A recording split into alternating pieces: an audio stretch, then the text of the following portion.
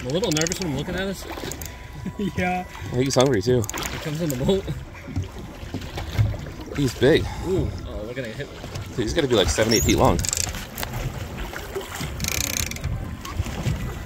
Holy cow. That's a beautiful fish, dude. And he's gone. Wow. Awesome. This is what it's all about right here. Yeah. Good lord.